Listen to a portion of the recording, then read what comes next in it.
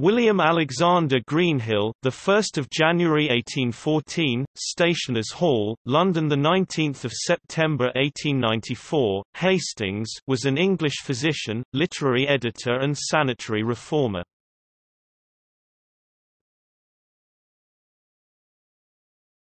Topic: Biography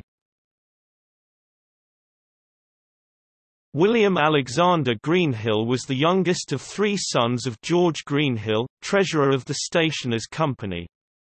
He was educated at Rugby School under Thomas Arnold, a favourite pupil of Arnold. He later married Arnold's niece Laura Ward. At rugby he befriended A. H. Clough, W. C. Lake, A. P. Stanley and C. J. Vaughan. He went on to Trinity College, Oxford, where he took no arts degree but studying medicine at the Radcliffe Infirmary in Paris graduated M.B. in 1839 and M.D. in 1840. Greenhill was appointed physician to the Radcliffe Infirmary in 1839. A pioneer in the cause of sanitary reform, in the days when sanitary reform was thought a crazy fanaticism.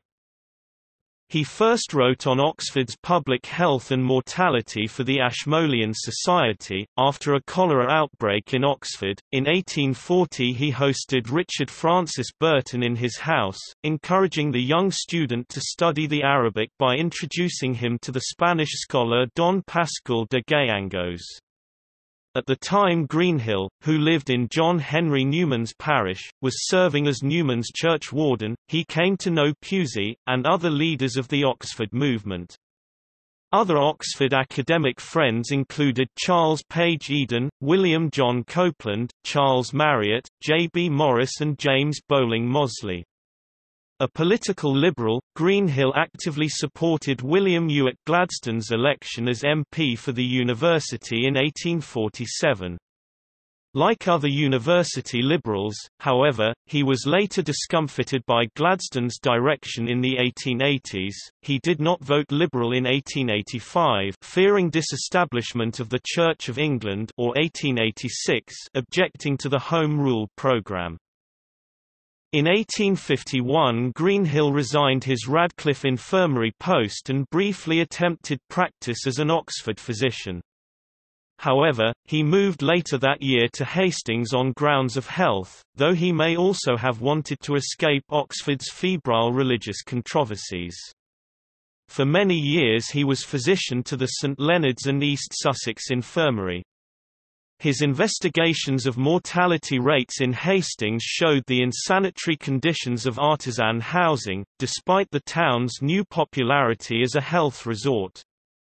In 1857 he founded the Hastings Cottage Improvement Society, and was its secretary from 1857 to 1891. This company bought up and improved insanitary accommodation, as well as building new housing of a better standard. The venture's success prompted Greenhill to promote the idea at the National Association for the Promotion of Social Science, and establish a similar organisation in London, the London Labourers' Dwellings Society, of which he was secretary from 1862 to 1876. On Gladstone's recommendation, Greenhill was granted a civil list pension of £60 in 1881. At the time of his death at the Croft, Hastings, aged 81, Greenhill had outlived his wife and his eldest daughter and son, who had each died young, one son and one daughter survived him.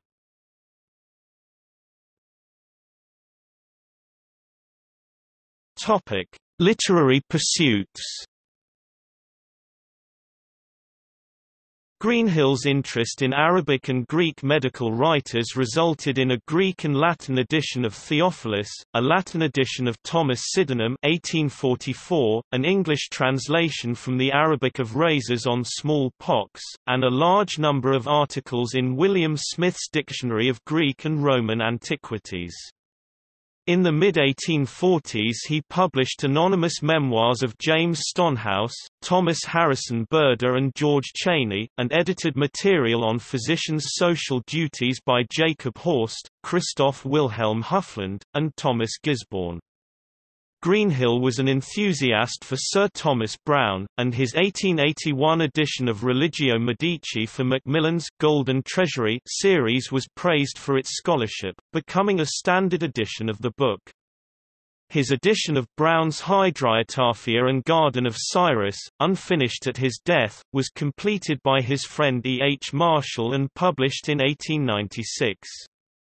He was an editor and frequent contributor to the British Medical Journal, and contributed to Notes and Queries and the Dictionary of National Biography. Topic works ed. Peri Ts Taus Anthropocatiscus Biblia Epsilon Theophili. De Corporis Humani Fabrica Libri v. Oxford, 1842. Latin and Greek, tr. From Latin of Jacob Horst, Prayers for the Medical Profession, London, 1842 Anon, Advice to a Medical Student, London, 1843 ed. Tome Sydenham Opera Omnia, Sydenham Society, 2 vols, 1844, 1846.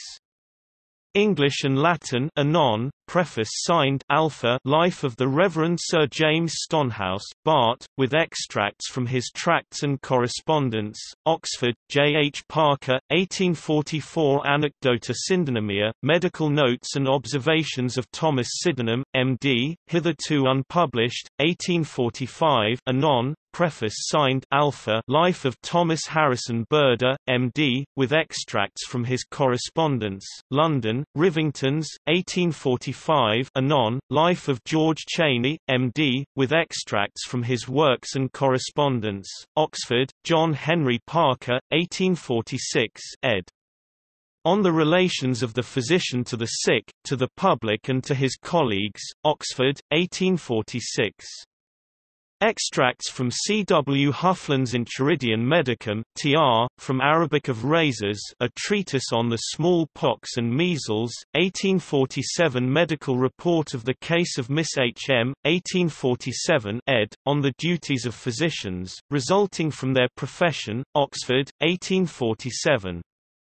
Ch. 12 of Thomas Gisborne's Inquiry into the Duties of Men in the Higher and Middle Classes of Society in Great Britain monthly, quarterly, annual report on the mortality and public health of Oxford.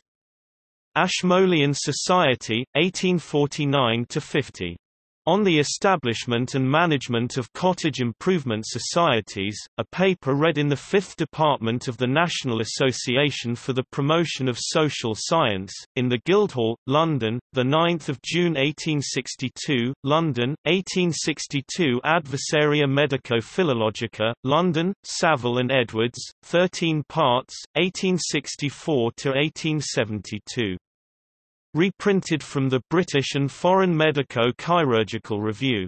A classified list of the charitable institutions of Hastings and St Leonard's, Hastings, 1873 A form of prayer to be used on the opening of a new house or block of buildings, London, 1873 On the mortality and public health of Hastings. Paper read at the Health Congress, Hastings, May 1889, Hastings, F. J. Parsons, 1890 The Contrast, Duty and Pleasure, Right and Wrong, Hastings, 1874, 6th edit, London, 1893 ed., Sir Thomas Browne's Religio Medici, Letter to a Friend, and C., and Christian Morals, Macmillan, 1881 ed., with E. H. Marshall Sir Thomas Browne's Hydriotaphia and the Garden of Cyrus, Macmillan, 1895.